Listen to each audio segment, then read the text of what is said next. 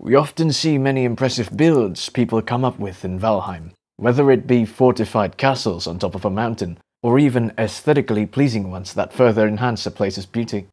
This video has none of those because, dearest viewer, my laptop would probably burst into flames if I were to do that. By the way, I am still planning on making an improved version of the castle, but I haven't found a good island to build it, so hang tight, I'm still going to make that. During the later part of the Middle Ages, wealthy landowners of Ireland and Scotland, plus many ambitious Italian patrician families, often created tower houses in order to ensure that their dwellings are defensible. Some are given the outer wall, or bawn, as they were called, but some also were just freestanding towers like the one in Tuscany. They were not necessarily meant to resist an entire army, but were instead meant to ward off raiders or plunderers. Compared to larger castles, I find that this type of building would suit the low population of players per map that Valheim has.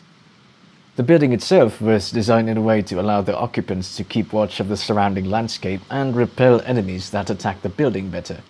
Of course, compared to bigger castles, this design costs less amount of stone and since it's smaller, it not only saves on PC performance, but it can also be built in less than optimal terrain and ensures that it'll take less time for the game to do a world save. Here are the steps to build this by the God Mode guy. Number 1. Prepare the foundation. Use wood floors and walls to ensure that the foundation is not too low or high. Unlike the previous design, this one is shaped like a spiral or maze, since earthenwork designs are indestructible provided that they are within a ward's sphere of influence. This shape ensures that the attacker must go through the whole floor before they can advance towards the next one. The added benefit of having the first floor being indestructible is that the defender can go nuts with melee combat without the fear of accidentally destroying a wall and collapse the building, and use the place as a choke point for fending off high numbers of enemies. Number 2. Create the stone walls. The second and third floor of this building will have a 2 meter thick stone wall, with a cunningly hidden wooden wall in between as an added safeguard when dealing with arrows. There's two ways on how to build the wall. One can either use the 2 times 1 or the 4 times 2 stones. One should never, ever stack walls straight like this. Technically speaking, nothing is stopping you, the player, from making the wall into 5 layers with three palisade walls or wooden walls for added protection, but it looks ugly as hell. So, I'm not doing that. Number 3. Add the defensive floors. Remember the shape of the foundation? Here is where this odd looking floor comes in. This design is to ensure that when enemy attackers come and enter the building, the tower's defenders that are equipped with ranged weapons can shoot the enemy without getting body blocked by their own allies whilst using the floor for cover from enemy shooters as well. Number 4. Prepare the wooden part of the exterior. The top floor will have wood hoardings with machicolations.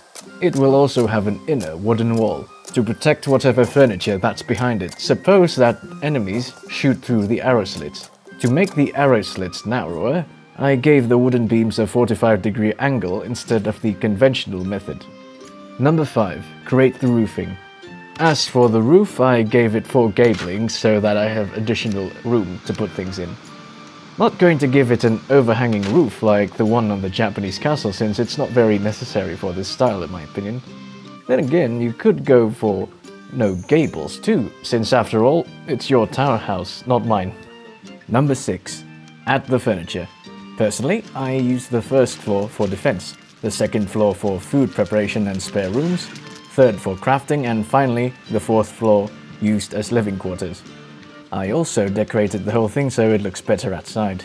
So far, despite how packed the interior is, this entire spot only has around 3000 instances.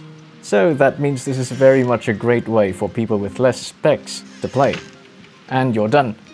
That's all for this video, I hope all of you enjoyed it, and as always, have a great time.